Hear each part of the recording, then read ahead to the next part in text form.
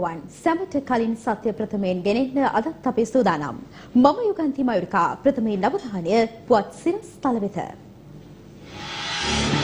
ඉන්දීය අගමැති දිවයිනට බ්‍රතවාහන ගමනාගමනය සීමා කෙරේ. සුදුසු වේලාවේදී තමන් බලයට එන බව සජිත් කියයි. පාර්ලිමේන්තු තේරීම්කාරක සභාවට සහය දෙනවා නලින්ද කියයි. පොසොන් පොහොය නිමිත්තෙන් අනුරාධපුර නගරයේ විශේෂ ආරක්ෂක වැඩපිළිවෙලක්. ඉන්දියා අග්‍රාමාත්‍ය නරේන්ද්‍ර මෝදි මහතා නිල සංචාරයක් සඳහා අද දිවයිනට පැමිණියා. ඉන්දී අග්‍රාමාත්‍ය නරේන්ද්‍ර මෝදි මහතා අද පෙරවරු 11ට පමණ කටුනායක ජාත්‍යන්තර ගුවන්තොටුපළින් දිවයිනට පැමිණියා.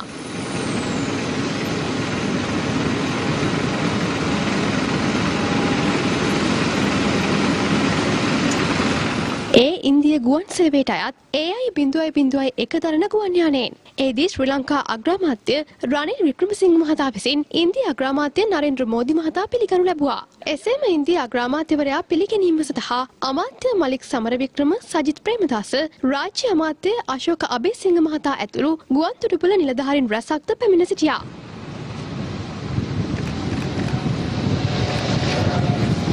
මේ අතර ශ්‍රී ලංකාවට පැමිණීම සනිටුවන් කරමින් සමරු සටහනක් තැබීමද ඉන්දියා අග්‍රාමාත්‍යවරයා විසින් සිදු කරනු ලැබුවා.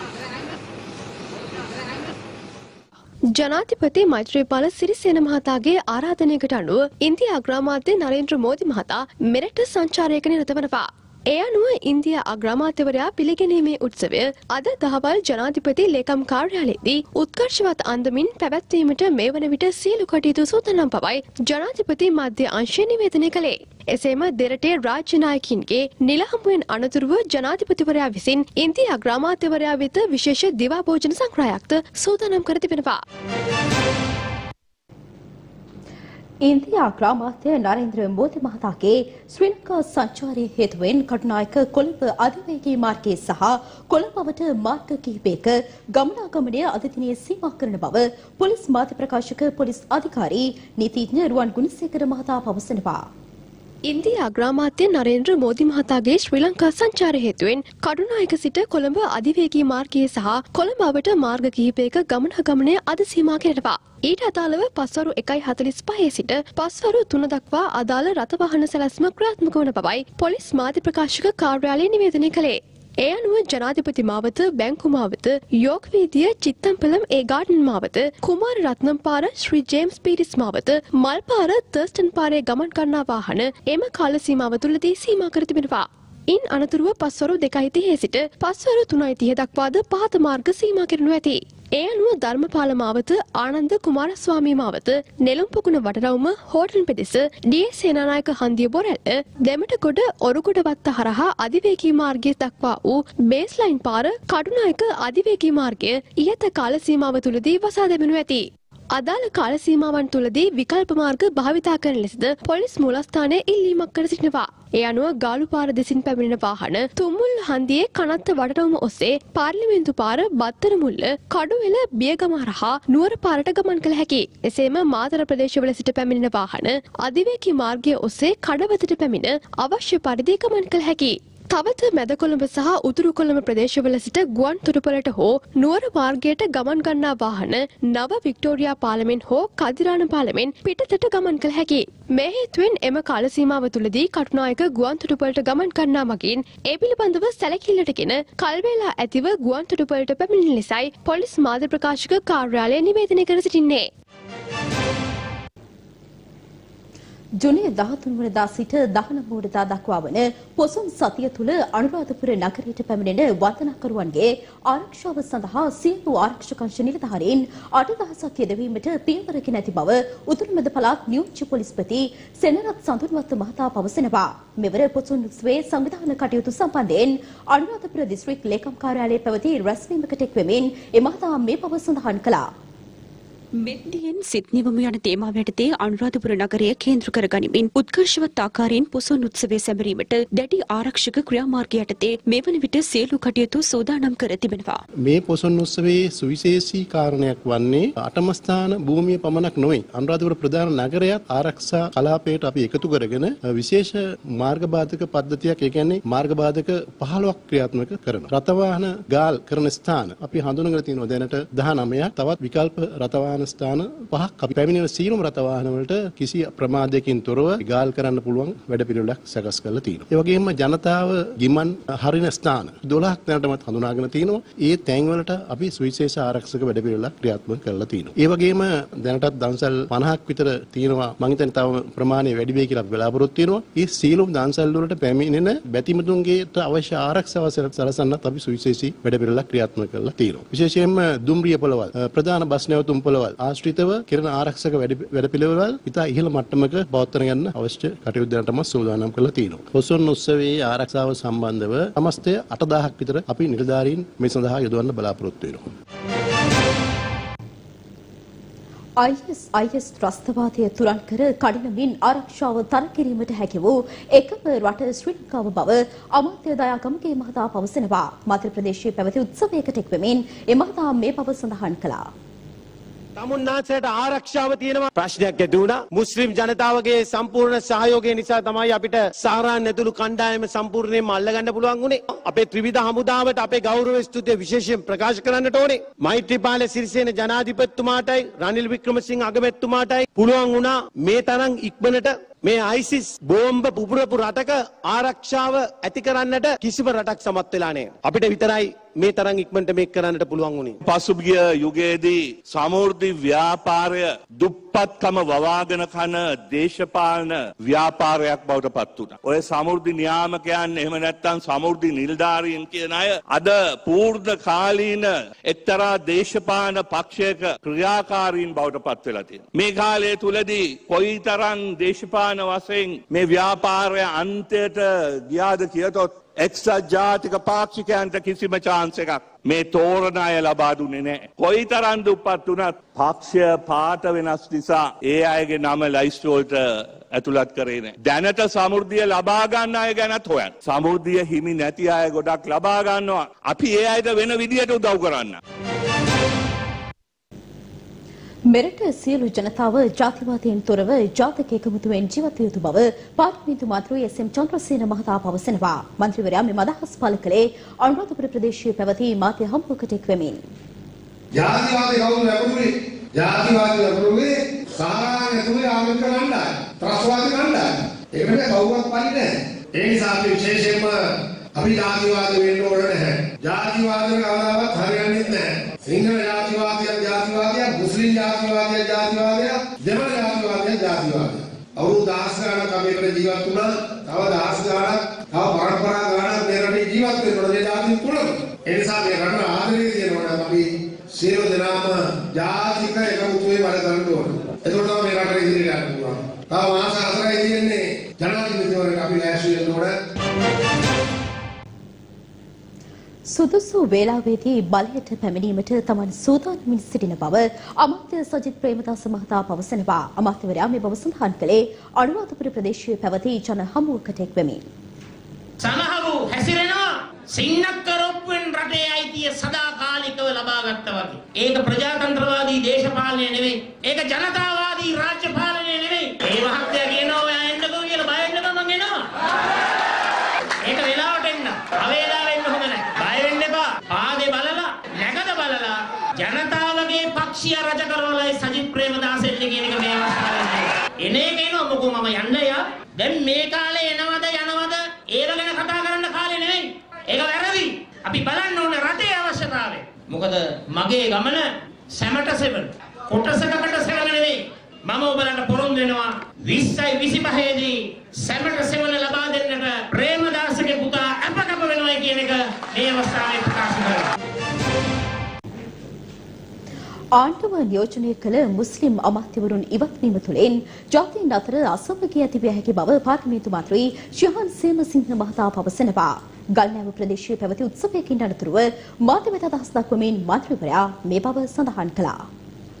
අපි පක්ෂයක් හැටියට මුස්ලිම් ඇමතිවරු ඉල්ලා අස්වීම සම්බන්ධයෙන් අපේ ප්‍රසාදයක් නැහැ. මේ මුස්ලිම් මන්ත්‍රීතුමාලා කළා තියෙන්නේ ත්‍රස්තවාදයට විරුද්ධ අන්තවාදයට විරුද්ධ මුස්ලිම් සාමාන්‍ය ජනතාවත් දැඩි අපහසුතාවයකට පත් කරලා තියෙනවා. පැහැදිලිවම බෙදුම් රේඛාවක් කරා ආණ්ඩුවේ අනාගත බලාපොරොත්තුව මේ රටේ ජාතීන් අතර ආගම් අතර අසමගිය ඇති කරලා ඔවුන්ට පවත්වාගෙන යන්න බැරි රජය අප්‍රසාදයට පත් වෙලා තියෙන රජය කිසියම් ආකාරයකට එකතුවක් කිරීම තමයි. ඉතින් ජනාධිපතිවරණය සම්බන්ධයෙන් අපිට කිසිම සැකයක් නැහැ. මහින්ද රාජපක්ෂ ජනාධිපතිතුමාගේ කඳවුර අනිවාර්යයෙන්ම ජයග්‍රහණය කරනවා විතරක් නෙවෙයි අපි අලුත් ආණ්ඩුවක් පිහිටවීම ඉතාම ආසන්න වෙමින් පවතිනවා. කිසියම් ආකාරයේ අර්බුද නිර්මාණය කරන්න එක්සත් ජාතික පක්ෂය නියැලීම සම්බන්ධයෙන් අපි කනගාටු වෙනවා. අපි විශ්වාස කරනවා මැතිවරණ කොමිසම නියමිත දිනෙට මැතිවරණය පවත්වන්න කටයුතු කරයි කියලා නීතියට අනුව ව්‍යවස්ථාවට අනුව කිසිසේත්ම මේ ජනාධිපතිවරණය කල් දාන්න බෑ.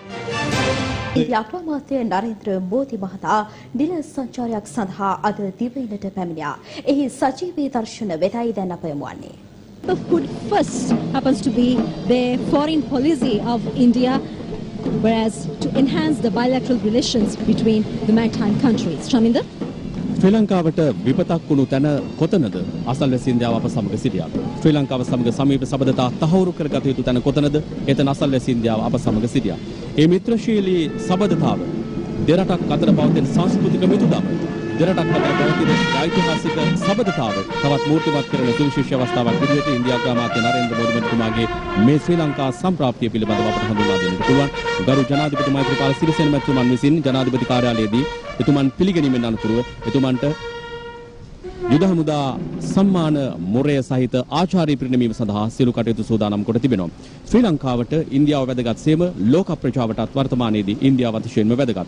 ලෝකේ විශාලතම ප්‍රජාතන්ත්‍රවාදී රාජ්‍ය ආසියාවේ නැගියන ආර්ථිකයකට හිමිකම් කියන ප්‍රධාන පෙළේ රාජ්‍යයක් විදියට කාගේ අවධානයට ලක් වුණු රට ඉන්දියාව, ඒ වගේම ලෝකේ විශාලතම ජනගහනය අතරින් දෙවැන්න හිමි කරගත් රාජ්‍ය, ඒ වගේම ප්‍රජාතාන්ත්‍රික වශයෙන්, ඒ වගේම මෑත කාලීන ආර්ථික ප්‍රතිසංස්කරණ, විදේශ ප්‍රතිපත්ති ආදී බොහෝ දේ අතරින් ලෝකයට බොහෝ ආදර්ශ සම්පන්න රාජ්‍යයක් විදියට හඳුන්වන්නට පුළුවන් දේශයක් අසල්වැසි ಭಾರತය. මේ ಭಾರತೀය ජනතාවගේ නායකයා විදිහට පසුගිය 30 වෙනිදා අභිනවයෙන් තේරීපත් වුණු ඉන්දියා අග්‍රාමාත්‍යවරයාගේ ශ්‍රී ලංකා සංචාරය එතුමන්ගේ අභිනව අග්‍රාමාත්‍ය ධූරෙන් දින කිහිපයක යෑමෙන් පසුව සිදුවීම ශ්‍රී ලංකා ඉතිහාසයට ශ්‍රී ලංකාවට රාජ්‍ය නායකයෙකුගේ අසල්වැසි මිත්‍රශීලී සබඳතා පවත්වාගත හැකි සුවදශීලී ගමන් මගකට තවත් ශක්තිමත් අඩිතාලමක් දරන අවස්ථාවක් විදිහට හඳුන්වා දෙන්නට පුළුවන්. එතුමන් පිළිගැනීම වෙනුවෙන් මේ ජයසක් පෙරහඬ එවැගේම දේශීය නර්තන ශිල්පීන්ගේ මේ කෘව මේ සියල්ල ත්‍රිවිධ හමුදාව පොලිසිය සිවිල් ආරක්ෂක දෙපාර්තමේන්තුව ආදී කොට ඇති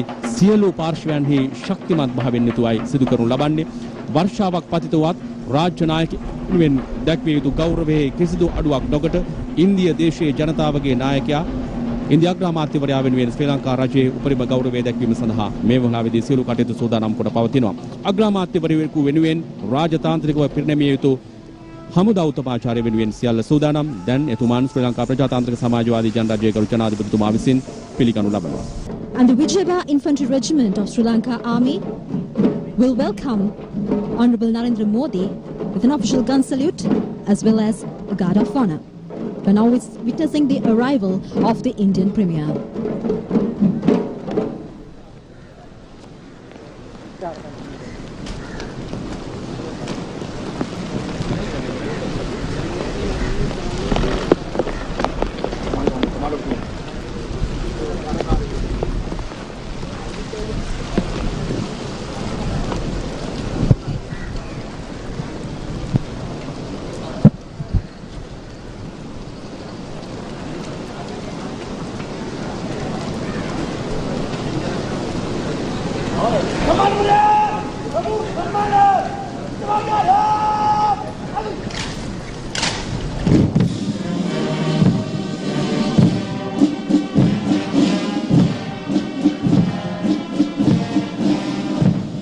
ඒ ඔබතුටුවේ ඉන්දිය අග්‍රාමාත්‍යවරයා මෙරටට පැමිණීමේ සහ එතුමාණන් ඉතාමත් ගෞරවයෙන් යුතුව පිළිගන්නා ආකාරයේ දර්ශනයි. අද දින ඉන්දියා අග්‍රාමාත්‍ය නරේන්ද්‍ර මෝදි මහතා එක් දින නිල සංචාරයක් සඳහා දිවයිනට පැමිණියා. විශේෂයෙන් අද පෙරවරු 11ට පමණ එයයි බිඳුවයි බිඳුවයි එක තරණ ගුවන් යානයෙන් තමයි ඉන්දියා අග්‍රාමාත්‍යවරයා දිවයිනට පැමිණියේ. ඉන් අනතුරුව අග්‍රාමාත්‍ය රනිල් වික්‍රමසිංහ මහතා විසින් ඉන්දිය අග්‍රාමාත්‍යවරයා ඉතා උණුසුම් අයුරින් පිළිගනු ලැබුවා. මෙම අවස්ථාවට අමාත්‍ය මලික් සමරවික්‍රම, සජිත් ප්‍රේමදාස, රාජ්‍ය අමාත්‍ය අශෝක අබේසිංහ මහතා ඇතුළු පිරිසක් එක්ව සිටියා.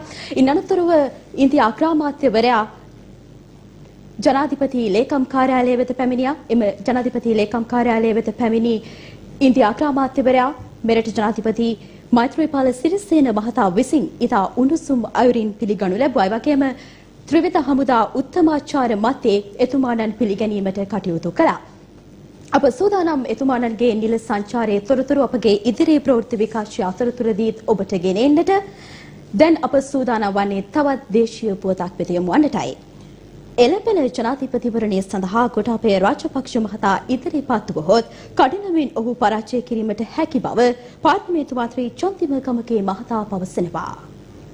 විපක්ෂයෙන් යම් කිසි චෝදනා එල්ලච්ච පමණින්ම අපි අපේ මන්ත්‍රී ඇමතිවරුන් ඉවත් කරා. විශේෂයෙන්ම රිෂාඩ් ඇමතිතුමාට දිගින් දිගටම චෝදනා එල්ල වුණා. එතුමා සැලකිය යුතු අපස්ථාවටපත් වුණා. ඒකම චෝදනාවකට ඔප්පු වෙලා නැහැ. විපක්ෂයෙන් එල්ලගෙන චෝදනා මත පමණ මේ විදිහට උන්ව සිත්වලට පත්වීමට ඉඩ ඇරීම උන්ට කරන අසාධාරණ විදිහට මම දකිනවා. ගෝඨාභය රාජපක්ෂ මහතාවත් හොඳයි. මොකද එතකොට අන්තවාදී දේශපාලන නායකත්වයක් නැවත බිහි වෙනවා. අපි බොහොම කැමතියි. ගෝඨාභය රාජපක්ෂ මහතා ඉදිරිපත් වෙනවා නම් මොකද අපි ලේන්සි මෙතුමා පරාජය කරන්න හැකියාව ඉන්දිය අග්‍රාමාත්‍ය නරේන්ද්‍ර මෝදි මහතාගේ ශ්‍රී ලංකා සංචාරයේ පිළිබඳ සජීවී දර්ශන වෙතයි අපි යළිත් යොමුවන්නට සූදානම්.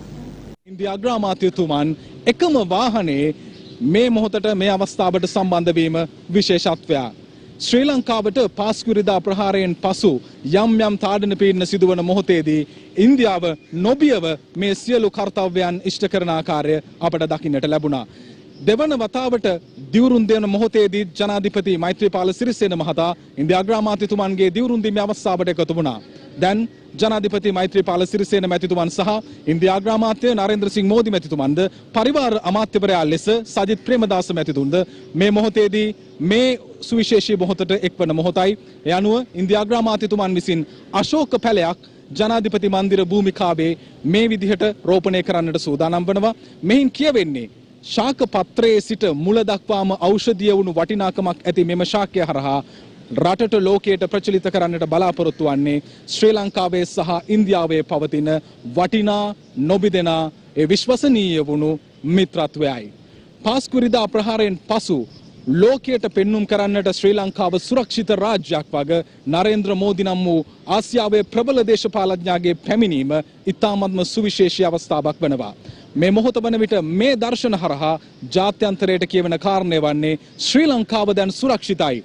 ඕනෑම රාජ්‍ය නායකයෙකුට විදේශිකයෙකුට මේ රට සුරක්ෂිතයි. ඒ අනුව මෙතුවක් කාලයක් යම් ආකාරයේ බීතිකාවක් රට තුළ නිර්මාණය වීද අන්තවාදී ප්‍රහාරයන් නිසා ඒ සියලුම ප්‍රහාරයන් සියලුම අවදානම් මේ මොහොත වන විටදී සමතයකට පත්ව දැන් ආරක්ෂාව සියට සියක් රට තුළ තහවුරු වී ඇති වග ඉන්දිය අග්‍රාමාත්‍යතුමන්ගේ පැමිණීමත් සමග මුළු ලෝකයටම පෙන්නුම් කෙරුණා. අශෝක පැලයක් මේ ජනාධිපති මන්දිර භූමිකාව මේ භූමියේ මේ මොහොතේදී රෝපණය කිරීම හරහා ශ්‍රී ලංකාව සහ ඉන්දියාව අතර මිත්‍රත්වය තවදුරටත් ශක්තිමත් වන බග අප මේ මොහොතේදී මතක් කළ යුතුයි. ඉන්දිය අග්‍රාමාත්‍යතුමන්ගේ දෙවන අග්‍රාමාත්‍ය ධූරයේදී විශේෂයෙන්ම ගුජරාට් ප්‍රාන්තය තුළ මහඇමතිවරයා ලෙස වසර 14කට ආසන්න කාල සීමාවක් කීර්තිමත් දේශපාලඥයෙකු ලෙසින් තනතුරු දැරූ එතුමන් ඉන් අනතුරුව වාරණාසි කොට්ටාශය නියෝජනය කරමින් වාරණාසි පළාත නියෝජනය කරමින් පාර්ලිමේන්තුවට ප්‍රවිෂ්ට වෙනවා. එකී භූමිකාව තුළ සිට දෙවන ස්ථාන දෙවන වතාව දක්වා අග්‍රාමාත්‍ය ධූරය දරමින් ඉන්දියාවේ ඓතිහාසික ජයග්‍රහණයක් ලැබුවා. ඒ පුතුටුවේ අග්‍රාමාත්‍ය නරේන්ද්‍ර මෝදි මහතාගේ මෙරට නිල සංචාරයේ සජීවී දර්ශනයි. නැවතත් අප සූදානම් අපගේ දෛනික ප්‍රවෘත්ති විකාශයත් සමගින් එක්වන්නට. පාස්කෝ ඉරිතුන ත්‍රස්ත ප්‍රහාරය සම්බන්ධයෙන් සොයාපැලීමට පත් කළ විශේෂ තේරීම් කාර්ක සභාව සඳහා ජනතා විමුක්ති පෙරමුණෙහි පූර්ණ සහය ඉදිරියටත් පළ කරන බව පාර්ලිමේන්තු මන්ත්‍රී නලින්ද ජයතිස්ස මහතා පවසනවා. තේරීම් කාර්ක සභාව පත් කරාට පස්සේ ඉල්ලන්න අස්සම් කරපුවයි පළවෙනි අස්සර ගහපුවයි. ඉඳලා අතර මන්ත්‍රීවරු 40 ගානේ 13ක්ම ඒකාබද්ධ පක්ෂ නියෝජනය කරනවා. ඊළඟට ඒගොල්ලෝ කියන්න පටන් ගත්තා අපි එන්නේ නැහැ මේකට. මොකද මේකේ රිෂාඩ් බතුරුදීන් ගැන සාකච්ඡා කරනවා. දැන් මොකෝ වෙලා තියෙන්නේ? දැන් රිෂාඩ් බතුර්දීන් ඉල්ලා අස්සුනා විශ්වාස භංගේ ඒගොල්ලෝ ගෙන ආපු විශ්වාස භංගේ ඒගොල්ලෝ මස් කරගත්තා එහෙනම් දැන් එන්න එපායි එහෙමනම් එන්න ඕනනේ දැන් කියනවා මේ බුද්ධි තොරතුරු එළියට එනවා. මේ තේරීම් කාර්ක සභාව පැවැත්විච්ච දවස් කිහිප ඇතුළතදී බුද්ධි තොරතුරු නම් එළියට ආවේ නෑ. හැබැයි එළියට ආව මොකද්ද? මේ රටේ පාලකයන්ගේ බුද්ධි හීනකම පිළිබඳ තොරතුරු. ජනතාවේ මුක්ති පෙරමුණ මේ රටේ ජනතාව වෙනුවෙන් ඒ පාර්ලිමේන්තු තේරීම් කාර්ක සභා ක්‍රියාවලියේදී කවුරු මේක පස්සේ වදින්න හැදුවත් අපි ජනතාව වෙනුවෙන් අවසානයේ දක්වා මේකේ සටන් කරනවා කියන එක අපි බොහොම පැහැදිලිව මේ රටේ ජනතාවට කියනවා. දෙවින හරහා දැනට පවතින වැසි සහ සුළං තත්ත්වය ඉදිරි දින කිහිපයේදීත් තවදුරටත් පවතිනු ඇතැයි අපේක්ෂා කරන බව කලකුණ විද්‍යා දෙපාර්තමේන්තුව නිවේදනයක් නිකුත් කරමින් සඳහන් කරනවා. දෙවින හරහා දැනට පවතින සුළං තත්ත්වය ඉදිරි දින කිහිපයේදී තවදුරටත් පවතින බවට අපේක්ෂා කරන බව කලකුණ විද්‍යා දෙපාර්තමේන්තුව සඳහන් කරනවා. බස්නාහිර දකුණ මධ්‍යම සබරගමුව සහ වයඹ පළාත්වල විටින් විට වැසි හෝ ගිගුරුම් සහිත වැසි ඇති විය හැකියි. කළුතර ගාල්ල මාතර සහ රත්නපුර දිස්ත්‍රික්කවල ඇතැම් ස්ථානවලට මිලිමීටර් 75ක පමණ තරමක තදවැසි බලාපොරොත්තු විය හැකි බවයි කලකුණ විද්‍යා දෙපාර්තමේන්තුව පවසන්නේ. අනුරාධපුර සහ මණ්ඩාරම දිස්ත්‍රික්කවලට වැසි වාර කිහිපයක් ඇති විය හැකියි. මඩකලපුව දිස්ත්‍රික්කයේ ස්ථාන ස්වල්පයක සවස් දවස් දෙකෙන් පමණ පසුව වැසි හෝ ගිගුරුම් සහිත වැසි ඇති විය හැකි. දිවයින හරහා විශේෂයෙන් මධ්‍යම කඳුකරේ බඩහිර බෑවුම් ප්‍රදේශවල උතුර උතුරු මැද වයඹ සහ ඌව පළාත්වලත් නුවරඑළිය අම්පාර සහ මඩකලපුව දිස්ත්‍රික්කවලත් විටින් විට හමන පැයට කිලෝමීටර් 50 දක්වා තරමක තදසුලන් නැති විය හැකි අතර යාපනය දිස්ත්‍රික්කයේ සහ පොතුවිල් ප්‍රදේශයේ පැයට කිලෝමීටර් 50 60 දක්වා තද සුලන් නැති විය හැකි. ත්‍රිකුණාමලයේ සිට කංකසන්තුරය හරහා මණ්ඩාරම දක්වා සහ මාතර සිට හම්බන්තොට හරහා පොතුවිල් දක්වා වෙරළට ඔප්පෙන් වන මුහුදු ප්‍රදේශවල සුළගේ වේගය විටින් විට පැයට කිලෝමීටර් 60ත් 65ක් දක්වාද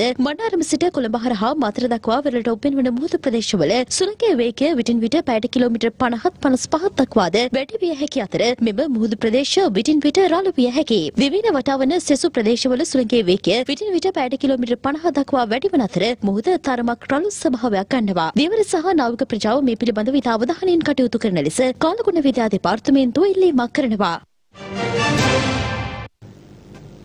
දැන් අවධානය රටවටා පුවත් කිහිපයක් වෙතයි. අසරණ වූ පවුලක් වෙනුවෙන් නිවසක් ලබා දීමට අමාත්‍ය රවි කරුණානායක මහතා පියවර ගෙන තිබෙනවා. ආරවුලක් දුරදිග යාමෙන් බිරිඳ සිදු කළ පහරදීමකින් 45 හැවිරිදි සැමියා ජීවිතක්ෂයට පත්ව තිබෙනවා. සිද්ධිය සම්බන්ධයෙන් වටවල පොලිසිය පරීක්ෂණ කටයුතු ආරම්භ කර ඇති බවයි වාර්තා වන්නේ.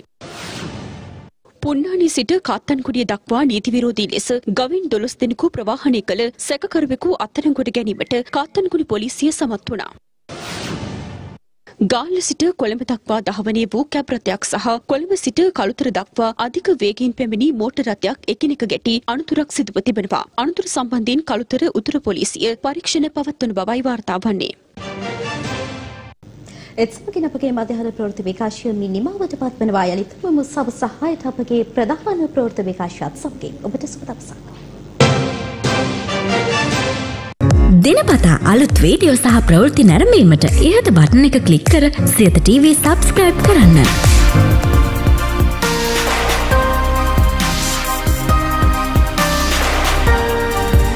අලුත් වීඩියෝ ගැන මුලින්ම දැනගන්න මෙම සීනුව ක්ලික් කරන්න.